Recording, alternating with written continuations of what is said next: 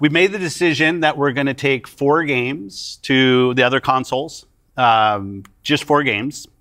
Not a change to our kind of fundamental exclusive strategy.